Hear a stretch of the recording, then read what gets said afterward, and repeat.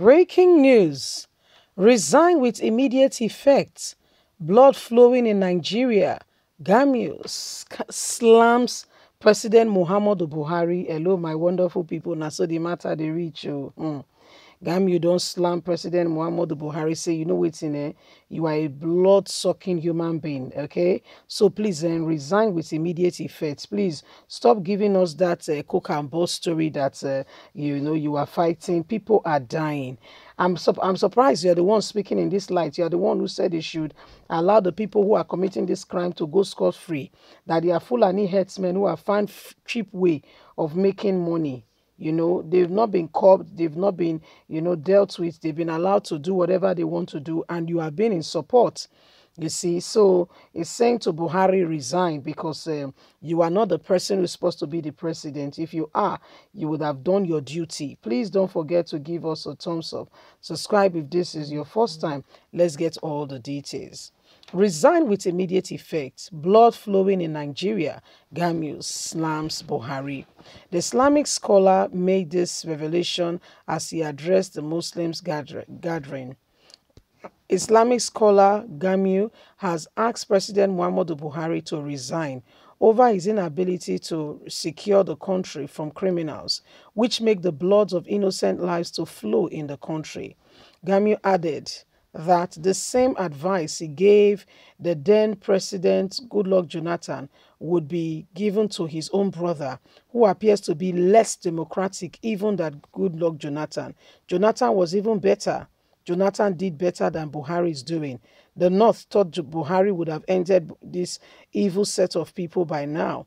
Apparently, Jonathan was better.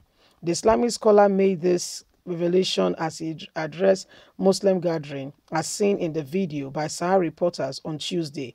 Gamius said during the Jonathan era, when blood was flowing, I criticized him greatly because he was doing he was doing something but not enough. Why I blamed Jonathan with blood in his hands was because Boko Haram were putting bombs everywhere and the government was not doing anything particular to salve the situation because they kill under the regime. You are responsible for what ma matter. If you have done your best, I can say that God can forgive you. But if you are relaxed, no, God cannot forgive you. So it's the same thing now to this blood sucker. It's even more, there's even more bloodshed than there was during Jonathan's regime. So now you judge yourself to be fair. Our religion is a religion of fairness.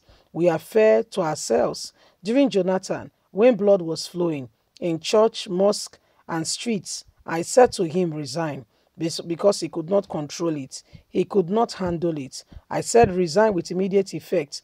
When people were dying everywhere, the president and governors are attending wedding ceremonies. That's what I meant by I don't care. It is either if I am telling to I'm talking to myself, telling you the truth. As I asked for the resignation of Jonathan, I also am calling for the resignation of President Muhammadu Buhari with immediate effect. And the government paperwork immediately should, be, should continue and the proceedings should start from the House of from the House of Representatives to the Senate.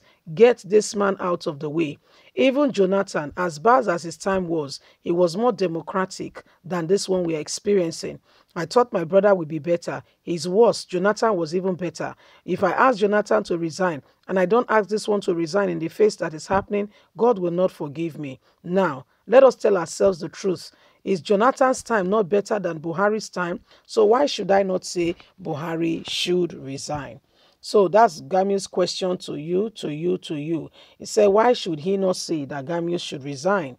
Because if Jonathan's time was much better, then why will, I mean, and he, even then, he was still saying to Buhari that you have not done enough uh, to good luck Jonathan, you've not done enough. And good luck Jonathan then has already engaged the service of machineries. Okay, he has already engaged those who will assist.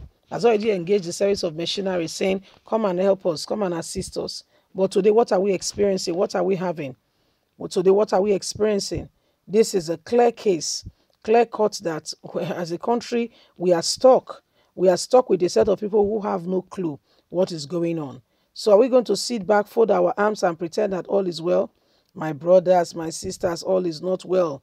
The country is going in Damboree and things are happening. We cannot allow people to continue to suffer because there is one man called who calls himself President Muhammadu Buhari and doing nothing to protect and you know to help the people. People are dying every day.